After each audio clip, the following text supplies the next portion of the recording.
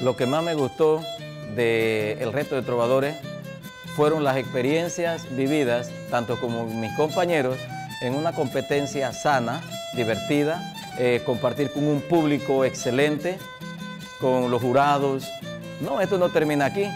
Eh, la décima desde pequeño me gustó, la he cultivado, la seguiré cultivando y contando siempre y cuando eh, confiando en Dios, en los empresarios, el público que son el motor que nos anima a continuar la décima.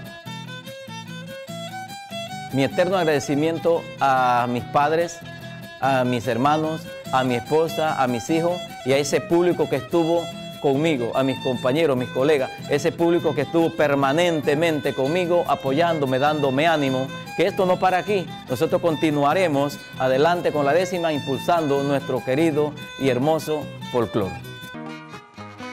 Gracias le doy al canal, gracias le doy al canal su equipo de producción y a ustedes, la población, por su apoyo moral.